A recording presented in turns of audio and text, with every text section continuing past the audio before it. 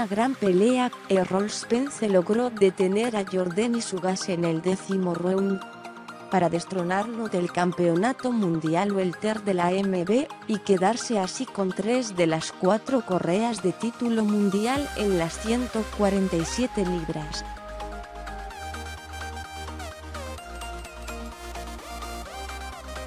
Fue una pelea que cumplió con lo que prometía. Dos campeones mundiales, de gran habilidad técnica, física y anímica, batiéndose en una emotiva pelea de unificación.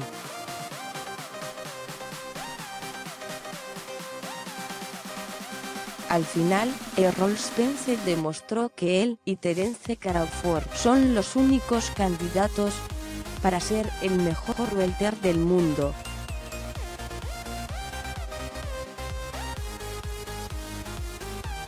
La pelea comenzó enseñando que iba a ser un enfrentamiento de sutilezas.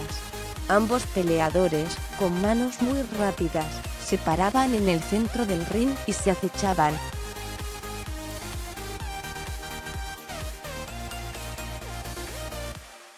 Se tiran señuelos tratando de forzar el error, se analizan. Spence es más agresivo pero falla todo,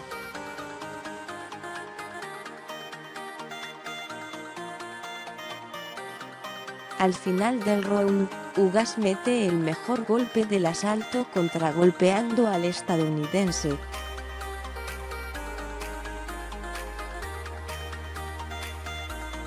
Pero Spence fue ajustando su plan de pelea.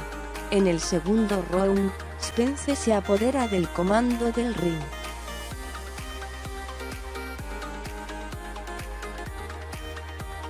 Errol mete mejores combinaciones y lee bien que Ugas está esperando el contragolpe.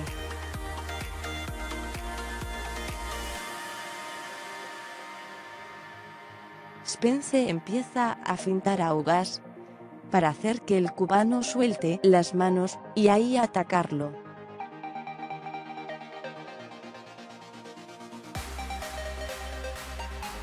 Spence mete la mejor combinación del round. El cubano trata de contragolpear, principalmente con la mano derecha, pero no logra meter ningún golpe, y se vio más inofensivo.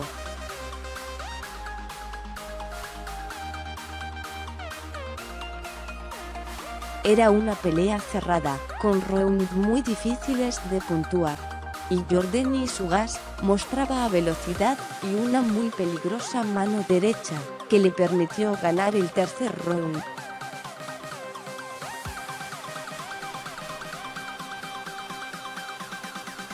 Y es que el cubano cerró muy fuerte el round, donde logró desestabilizar a Spence, abrirle la guardia, y conectarle varias manos derechas con solidez que sacuden a Errol.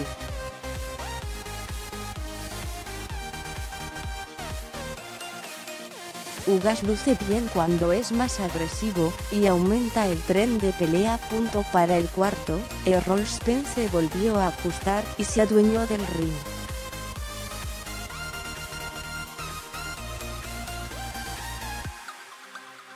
Trabajó muy bien la distancia, y mete sus golpes, a la vez que hacía fallar a Ugas.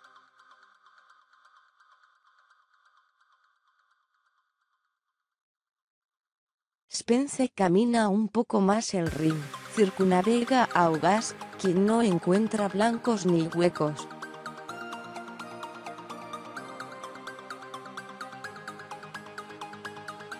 Hay pocos golpes contundentes en el round, pero Spence domina mejor el tiempo y el espacio.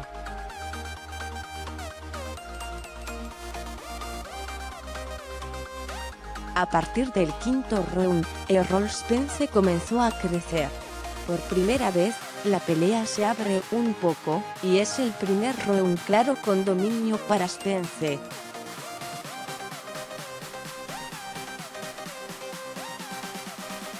El estadounidense vuelve a plantarse en el centro del ring y trabaja más aumenta su tren de pelea, lanza y lanza golpes a dos manos, arriba y abajo, y varios entran sólidos sobre Ugas.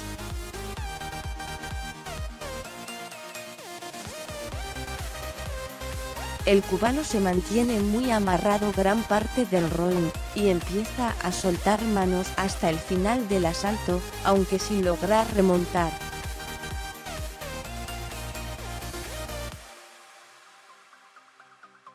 Una confusión en el sexto round, significó el mejor momento de Jordan y Sugas. El cubano le vuela el protector bucal a Spence con un upper de derecha.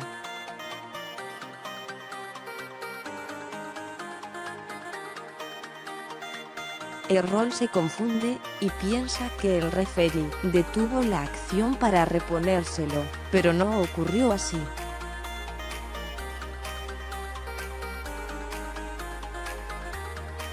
Ugas aprovecha la confusión, va sobre él y lo lastima. Spence trastabilla en un par de ocasiones,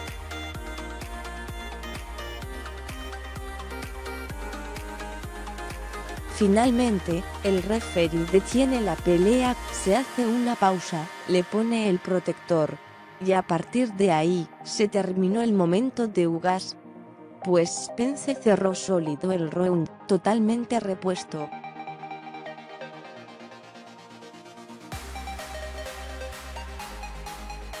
Rápido, Errol Spence volvió en el combate en el séptimo. Con un upper de izquierda, Spence pone mal a Ugas, que se pone en modo supervivencia, tratando de terminar el round.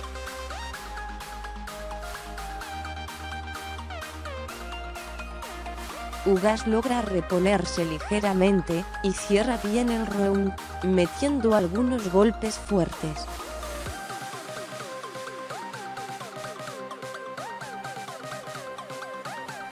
Pero Errol Spence había destrabado la pelea y a partir de ese momento, sería un claro dominador del combate.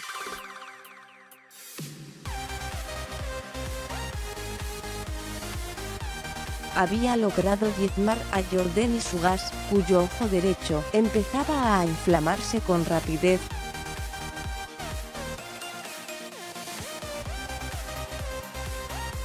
En el octavo round, era ya tanto el dominio de Spence, y tan diezmado el aspecto de Ugas, que empieza a asomarse la posibilidad del knockout o la detención.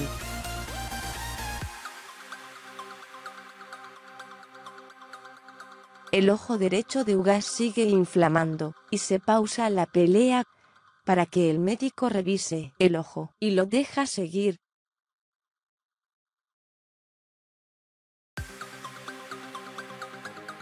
Sin embargo, Ugas ya se ve muy mermado, muy defensivo, y Spence se ve entero, sólido, agresivo.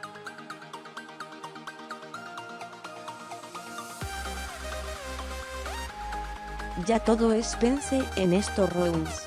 En el noveno, Ugas intenta, pero ya sus golpes perdieron mucha fuerza.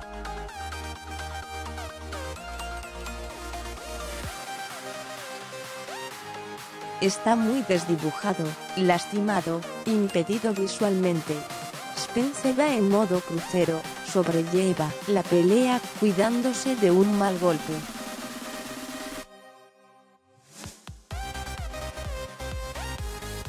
No parece pisar el acelerador para ir a buscar el knockout, y parece estar claro de que la detención llegará pronto, y llegará sola.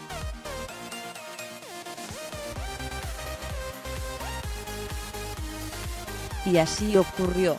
Al iniciar el décimo round, el ojo de Ugas va deteriorándose cada vez más.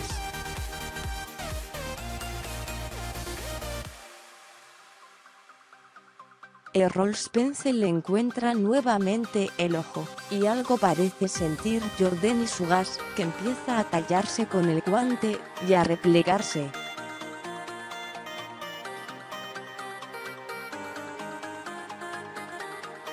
Como si hubiera sentido algo en el hueso orbital. El referee también lo nota y detiene la acción para llevarlo con el médico, quien ya no lo dejó seguir,